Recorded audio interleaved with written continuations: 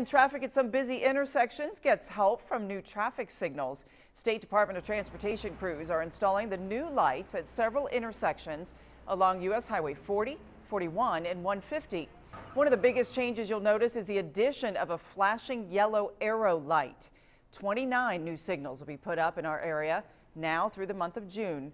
To learn more about the new flashing yellow arrows and where all these lights are going, check out our website, WTHITV.com.